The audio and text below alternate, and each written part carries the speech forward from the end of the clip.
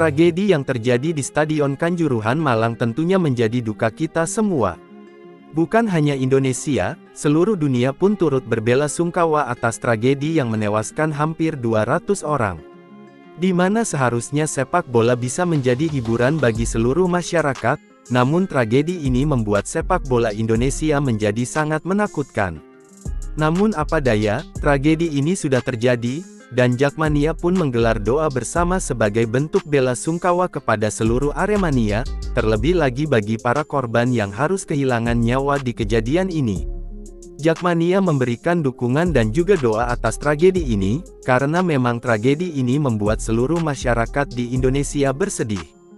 Jakmania pun berjanji akan terus memberikan dukungan kepada Aremania, doa terbaik pun dipanjatkan. Jakmania berharap tragedi ini menjadi tragedi terakhir di sepak bola Indonesia. Semoga tidak ada lagi kejadian-kejadian mengerikan seperti ini. Namun yang jelas, Jakmania pun kecewa dengan pihak-pihak terkait yang masih mementingkan hal lain. Tentunya seluruh Jakmania berharap, Aremania bisa kuat menerima kejadian ini. Karena seluruh dunia pun berduka atas tragedi hitam ini, bahkan klub-klub Eropa pun memberikan rasa bela sungkawa kepada tragedi ini di mana sebelum pertandingan di liga-liga Eropa, para pemain dan juga penonton melakukan one minute silent.